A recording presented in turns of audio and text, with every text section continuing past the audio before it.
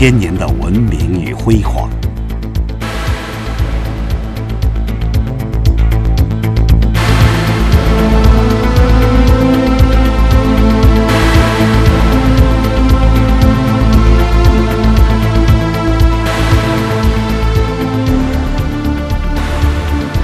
自周秦而至汉唐，十三朝帝王古都。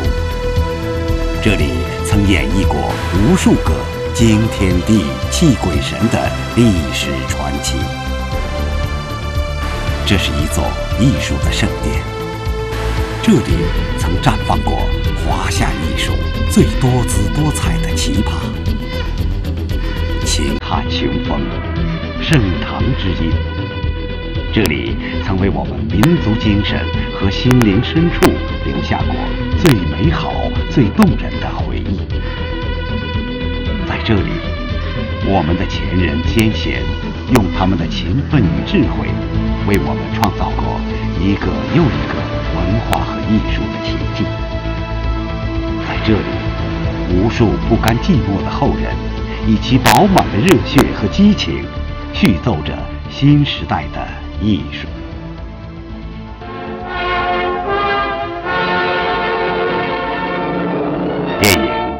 作为二十世纪人类最伟大的艺术之一，在这片古老而又神奇的土地上生根发芽、开花结果，承载着厚重的古老的文化与文明。中国西安电影制片厂几代西部电影人在这里续写了四十七年的骄傲与辉煌。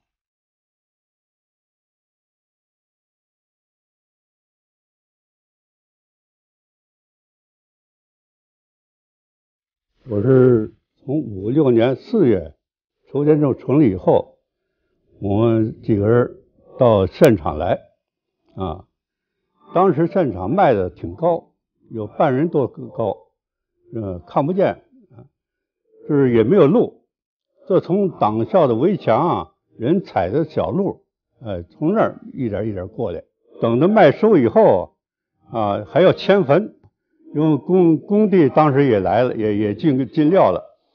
就是罗毛同志就说：“老金，你看你当过兵，你还是你去吧。白天还好点就是我把帐篷袋儿一系，我就进城了骑车。骑车都不不能骑，要人扛着，把车扛在雁塔路口儿，这才能骑骑车。当时雁塔路是石子石子子路。”一九五八年八月二十三日。是吸引人永远难忘的日子。这一天，西北第一个电影制片基地——西安电影制片厂，正式诞生于闻名遐迩的大雁塔大慈恩寺东侧。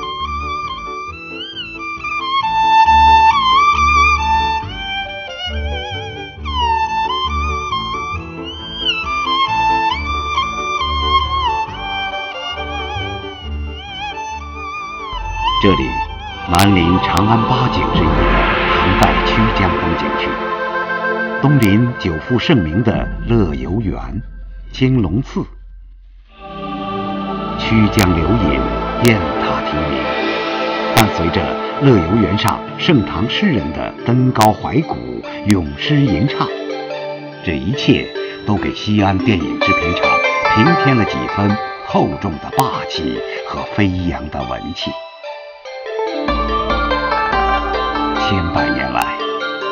中华民族尊凤龙为自己的图腾和精神象征。长安古都，汉唐雄风，神龙盘踞，继承着千年的血脉和气韵，潜藏着无限生机与活力，从而给予了西安电影制片厂日后在这一方土地上奋起腾飞的神气和雄气。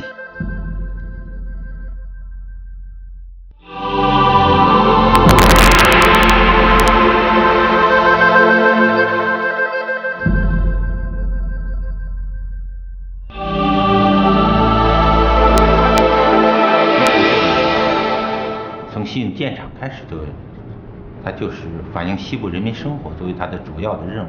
那几年这可以说好戏连台，代表当时基本上代表了中国电影当时的水平，一个很很那个很活跃、很旺盛，另外呢很值得回忆的一段一个年代。就这种风气是确实是难得的，那不出好片子才怪呢。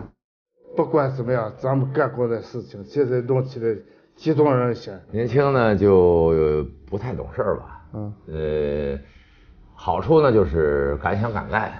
这个吸引人的这种工作状态，你也能够相信，就是还能够把一个电影做成现在这样，具有那么深邃的思想，那么朴实的风格。这些幸运都离不开我在我我在西安电影上工作二十几年，从东北到西北，对对这段经历。我生在西安，是吧？那个父辈也是西安人。就是到了西北，他那种感觉就有一种特殊的亲切感。反正我讲西安，我从来不把那儿当一个别的地方，老是是是是我的老家。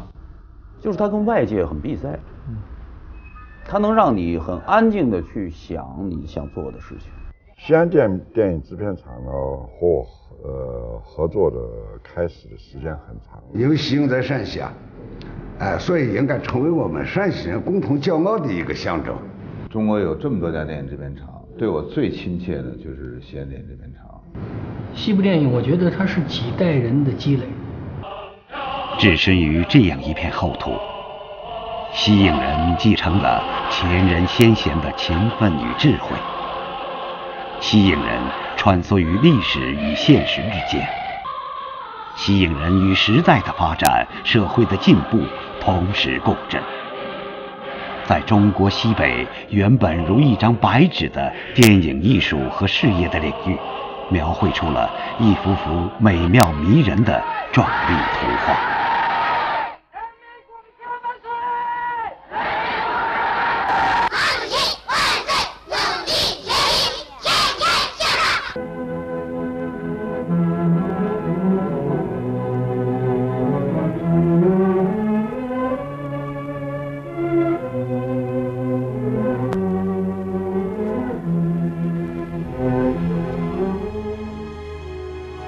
这样一张照片，恐怕西影人再熟悉不过了。那是一九五八年六月的一天，他们大多是二三十岁的年轻人，是西影的第一批建设者。那是他们在长影学习培训期间合影留念，他们每一个人脸上的笑容，却是那样亲切，那样灿烂，那样带着这笑容，西影人开始了艰辛的创业历程。我们通过这些纪录片，可以看出那个时代人的青春，而西影电影人的青春，更让我们今天的人感慨万千。在那个年代里，摄制组要买一台收音机听天气预报。还要上报省里上级部门，要求补助几毛钱，也需层层上报，意见不一，又生怕别的摄制组仿效。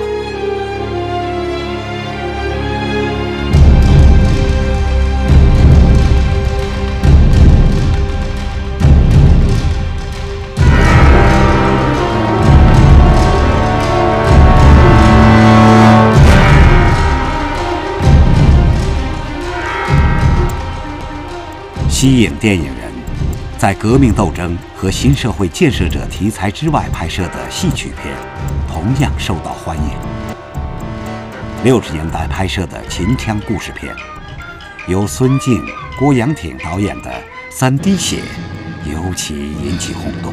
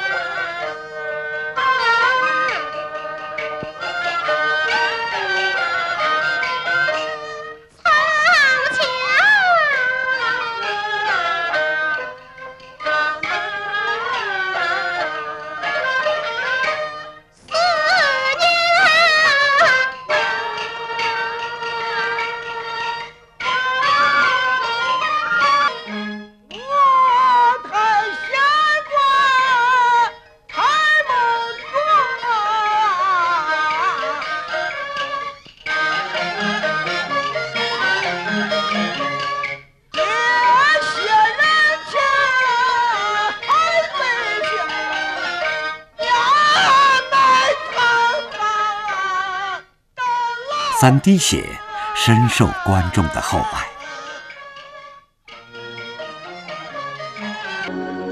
我们的人民公社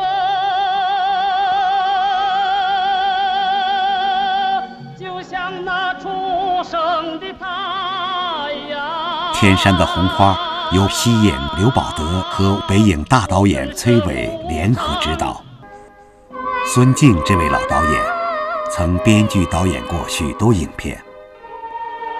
六十年代初，电影界的创作气氛比较宽松，他看中了根据亲人孔尚任所著的《桃花扇》改编的昆剧《桃花扇》，拍摄了力图证明西影实力的电影《桃花扇》。谁知拍摄完后，桃花扇被打成大毒草，反革命复辟的宣言书。为此，孙敬受尽折磨，几度自尽，痛不欲生，蒙冤长达十二年。一九八零年拍摄执导故事片《乳燕飞》的时候，病故于南宁外景地。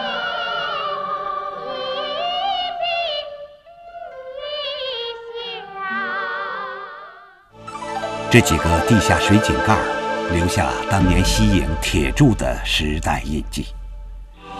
离他不远，曾是当年拍摄西影第一部故事片《雪海银山》的卢锡鹏。新唱的第一部片子啊是《血海银山》，是那是总厂长熬了几个夜晚，根据这个咱们那个。嗯，张秋香劳动模范那个事迹编写的，写了以后，组织拍摄也是咱们的基本人马，就是咱们实习团的这些人来拍摄。《学海银山》是钟继明厂长根据陕西劳动模范直棉能手张秋香的故事编写的。它表现了关中农村当时的现实生活。电影很重要的一点是记录这个时代人的生活状态、思想方式的重要工具，是现实生活的真实记录，是那时一帮人穿什么、住什么、说什么话、开什么车，不通过这些完全不能了解那个时代。当然。记录只是最基本的层面。西影拍摄第一部纪录片为《古都青春》，这应该是建国初期第一部记录世界四大古都之一西安的影像，所以弥足珍贵。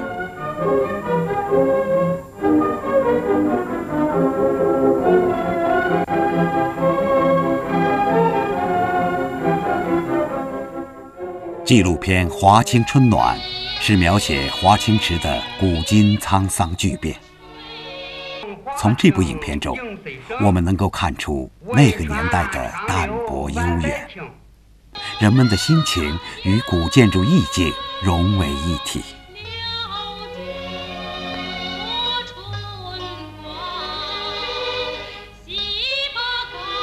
当时拍新闻片、纪录片那个洗片的时候，为了这个快啊。就不能送到北京去洗，所以就就采取个啥突发上嘛，在党校那里借几间房子。当时杭子玉就领领领上我们实习团这些人，在那里洗片子。嗯，这个新闻纪录片拍完以后，结果就拉到这个广播电台去一合合成。第二天，按照五一节。一一拍，那五五月二号就能在西安市给放羊。那个时候就采取这种边这个放羊边解说。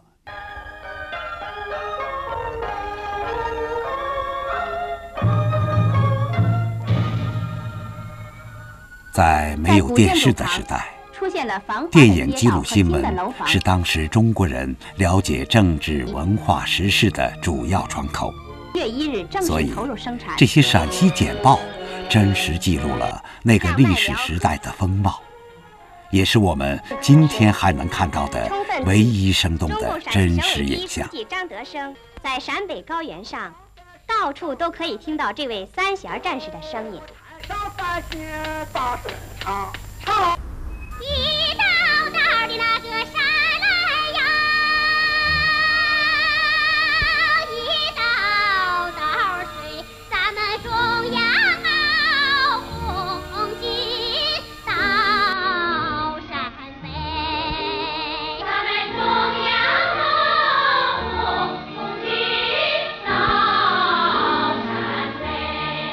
陕西作家陈忠实的小说《接班以后》在一九七五年改编为电影《渭水新歌》。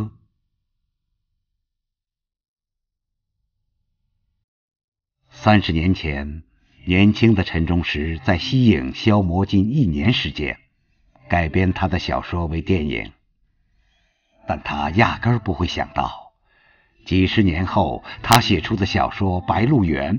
还是有西影即将搬上银幕。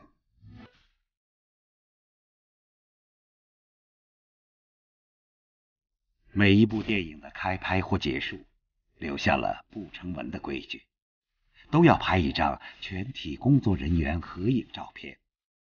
如今，我们仍能看出他们当年的影。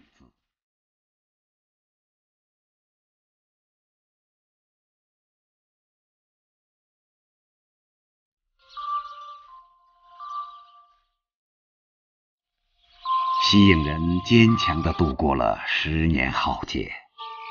曾经沧海难为水，相逢一笑泯恩仇。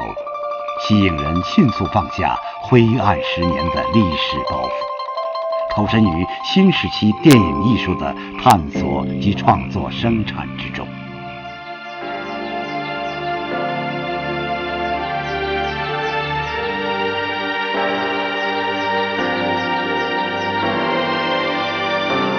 这期间，田伟厂长为了让年轻导演上戏，冲破层层阻力，可惜六十多岁就得了肺癌，去世在了任上。那是一个很有点精神的人，为了事业可以不顾一切。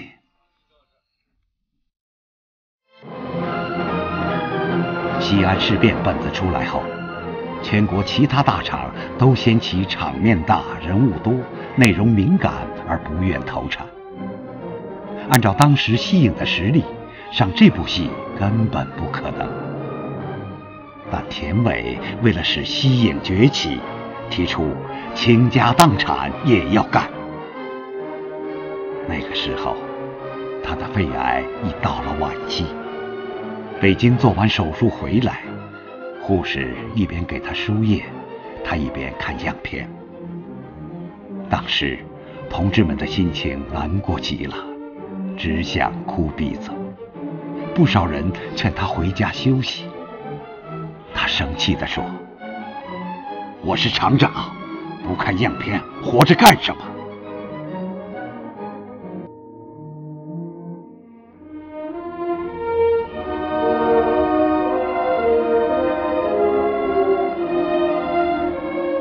其实，西安事变送审时也不顺利。这时，影片随时有可能胎死腹中。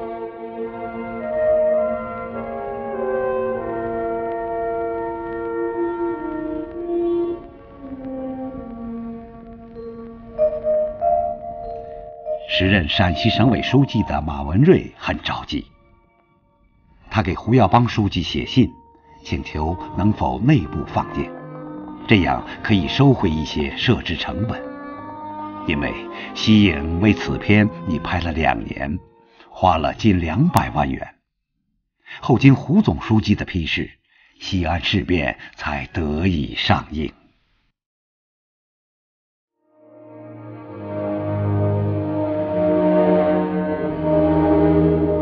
群众称，西影。是生活的颤音，颤了一下；第十个弹孔，弹了一下。西安事变彻底变了形象，象征着西影在全国的迅猛崛起。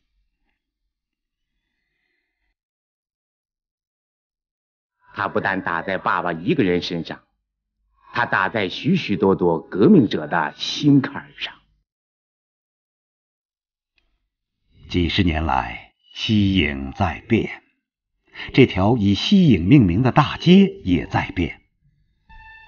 每一次从外地回到西安，这条路总有一些变化，但是最耀眼的还是西影路七十号。如今，西部电影集团，过去的西安电影制片厂。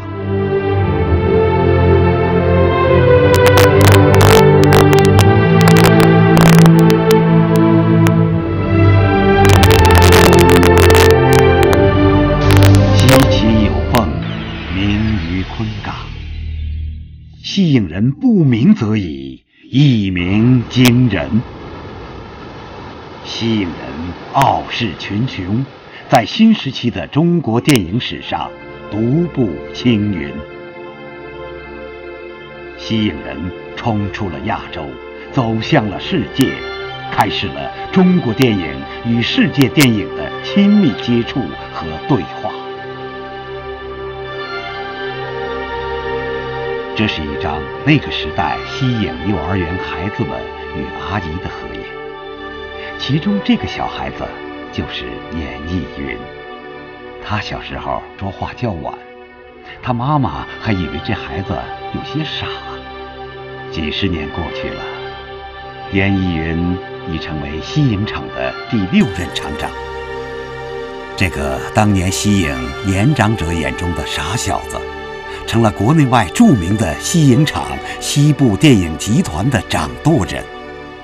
西部片。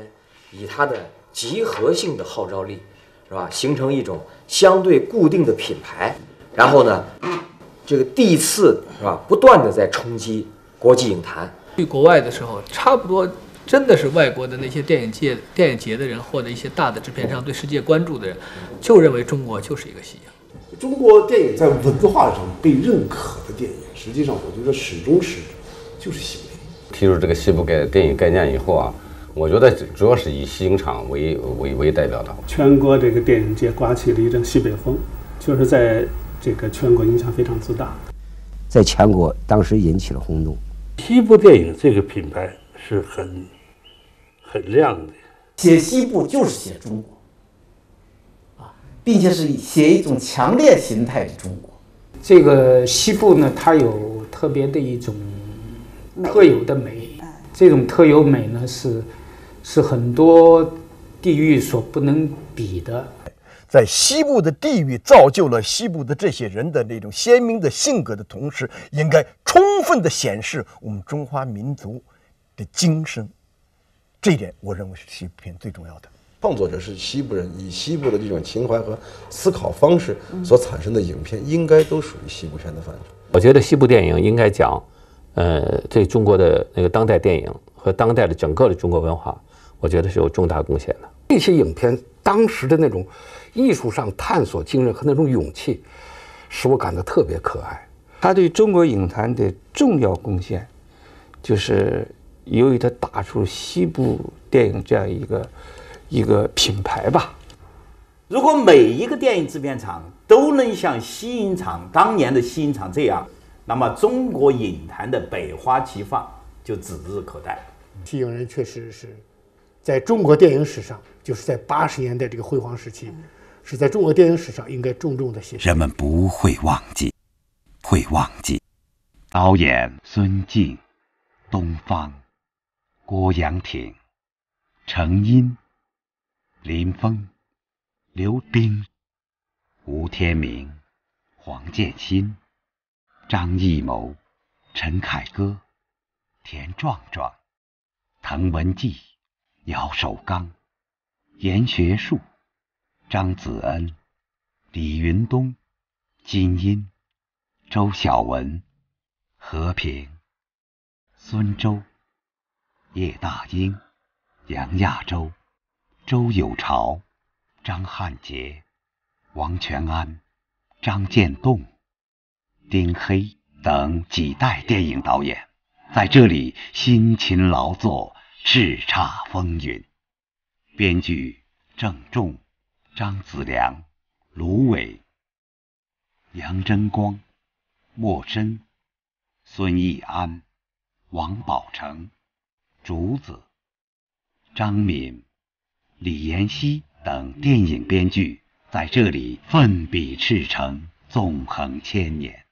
摄影韩忠良、王志雄、曹金山、林轩、陈万才、朱鼎玉、刘昌旭、米嘉庆、顾长卫、赵海夫、王新生、马德林、志磊、赵飞、杨伦、吕更新、王晓明、赵磊、赵耀林等几代电影摄影师在这里追光逐影，聚焦人生。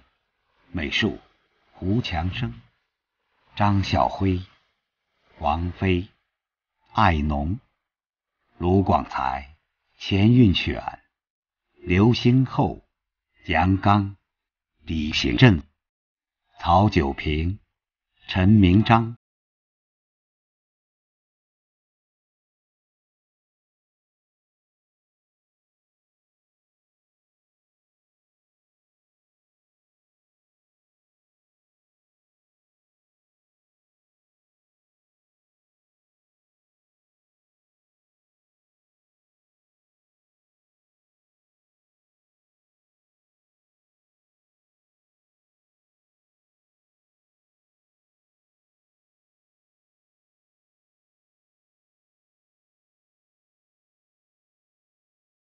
这里演绎了一个又一个中国银幕的硬汉形象。